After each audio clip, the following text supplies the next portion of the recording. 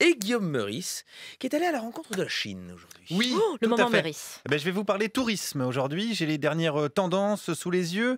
Euh, pour les séjours à Kaboul en pension complète, les tarifs sont toujours abordables. Hein, prévoir un aller simple seulement. Euh, très bonne promo sur la Syrie, évidemment, avec des voyages à Raqqa à gagner sur le site du ministère de la Défense. Une promo qui s'inscrit dans le cadre de l'opération au nom de code testicule pour François Hollande. Et puis, on a évidemment d'autres classiques, hein, les dictatures qui marchent toujours très bien, notamment Cuba, hein, un pays où nous, par exemple, on serait tous en tôle. Euh, le pays rêvé de Jean-François Copé, hein, qui est souvent profondément choqué des atteintes à sa personne dans les médias. C'est son côté socialiste révolutionnaire, Jeff. Et puisqu'on parle de socialisme révolutionnaire, on a également la Chine, Ah. qui marche très fort en termes de tourisme. Et aujourd'hui avait lieu l'événement China World, la grande rencontre des professionnels du tourisme chinois et français. On y a parlé voyage, mais est-ce qu'on y a parlé droits de l'homme? J'ai demandé à une responsable d'un tour opérateur français. Ah, les droits de l'homme, non, ça, ça reste, que, ça reste super chelou pour eux. Non, non, ça, c'est très, très compliqué. Là, je pense qu'il y a même un, un blocus. hein. Là, le visage se ferme carrément. Ah oui, carrément? Ah oui, oui, oui. C'est quelque chose sur lequel on sent qu'ils sont fermés, mais c'est surtout qu'on sent qu'ils ne peuvent pas s'ouvrir. Ah, ah, le, le chinois est bloqué. Le chinois est bloqué. Euh, Il y aurait une sorte de prédisposition physique qui ferait du chinois un constipé des libertés fondamentales, véritablement.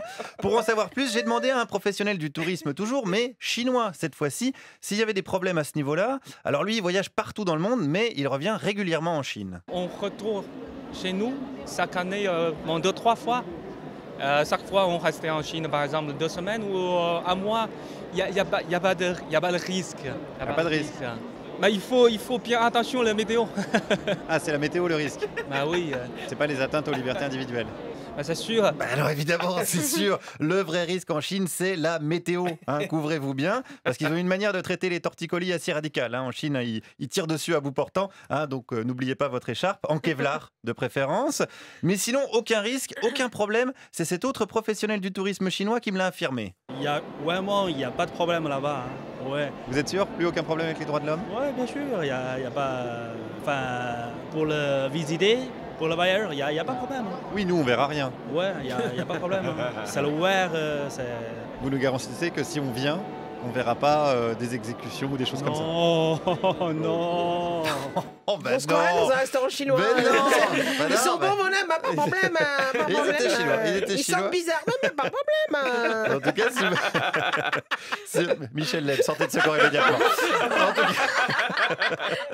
en tout cas, si vous allez en Chine, voilà, hein, pas de problème avec ça, vous ne verrez rien. hein, c'est- Pas de problème, pas de problème. C'est la Chine, hein, c'est pas, c'est pas Marseille, je vous le rappelle. Et il y a plein de trucs chouettes à visiter en Chine, n'est-ce pas? Il y a beaucoup, beaucoup de villes qui, qui va visiter. On a Pékin, Shanghai, Hong Kong. Hong Kong, il n'y avait pas des manifestations euh, récemment? Ouais. C'est fini ça, ouais? Oui, c'est ça. En plus, euh, en C'est vraiment fini? Enfin, je crois que c'est fini. Ouais.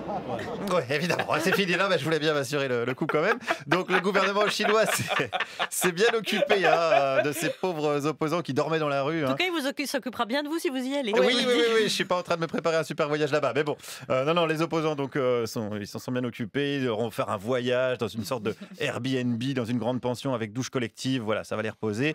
Ils vont penser à autre chose, s'évader un peu, enfin s'évader, non, peut-être pas s'évader du coup. Enfin bon, voilà, hein, tout fonctionne très bien pour les professionnels du tourisme en Chine, qui ce matin faisaient donc des affaires. Ça marche très bien parce qu'il y a des agences en Chine, mais également à Paris et en Europe. Est-ce que vous avez un site internet? Oui, Est-ce qu'il marche en Chine? Bien sûr. Donc il n'y a pas de problème avec l'internet en Chine? Euh, ça dépend, ça dépend qu'est-ce que vous allez faire. Si c'est sur Facebook, oui, ça marche pas en Chine, mais Ah bon? Non. Pourquoi? Euh, parce qu'en Chine, ils contrôlent un peu Internet. C'est pas grave, j'habite à Paris. Ben oui, nous aussi on s'en fout, on habite à Paris donc ça va. Hein Puis franchement, quand tu traînes sur Facebook et que tu traînes à la huitième vidéo de chat coincé dans un seau, t'en as marre. Hein. T'as envie d'être chinois, vraiment, t'en as marre. Des fois, t'en as tellement marre que t'as envie de bouffer le chat. Enfin bref, t'as envie d'être chinois, quoi. Vous voyez, la France a, a bien raison de faire des échanges touristiques et commerciaux avec la Chine. Euh, comme je vous connais, voilà, vous êtes un petit peu tatillon. Euh, J'ai quand même posé une ultime question à un Français. Est-ce que c'est pas un problème de faire du business avec une dictature Euh, bon, ça on ne le ressent pas vraiment comme ça. Quand on est pro du tourisme, euh, bon, on voit que le touriste euh, final, euh, bon, on essaie d'occulter ce qui se passe derrière. Bon, si on raisonne comme ça, il n'y a pas que les Chinois. On, on pourrait aussi montrer du doigt d'autres types de clientèle. C'est vrai, il y a pire ailleurs. Il y, a, y a- y a pire ailleurs. En tout cas, bon, Non, on ne parle pas politique avec eux. ouais. Non, on ne parle pas politique avec eux. Ne vexez pas les gens au risque de perdre de l'argent. Ne remettez pas en cause la peine capitale au risque de faire de la peine au capital. Merci Guillaume Meurice.